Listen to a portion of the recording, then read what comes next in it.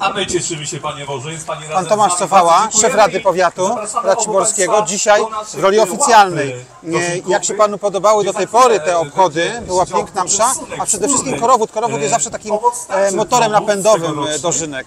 Jakie E, wrażenia? Będziemy się razem No muszę się przyznać, że to już są kolejne dożynki, w których biorę udział. Mam takie porównanie na między tymi dożynkami, które organizują typowo gminy rolnicze, mówię tutaj o e, Krzyżanowicach, e, czy też o innych, innych gminach. Natomiast Racibórz już coraz mniej jest takim rejonem rolniczym, bardziej rejonem przemysłowym.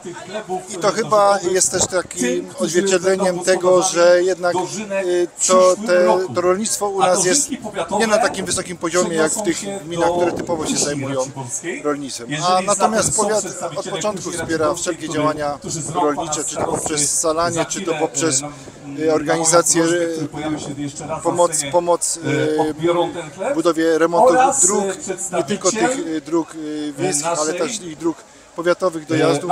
Myślę, że to jest efektem takiej dobrej współpracy z włodarzami gmin, dobrej współpracy z radnymi Rady Powiatu Raciborskiego. I chciałbym, żeby taka współpraca była kontynuowana również w kolejnych latach, w latach, w których ja będę jako, jako przewodniczący.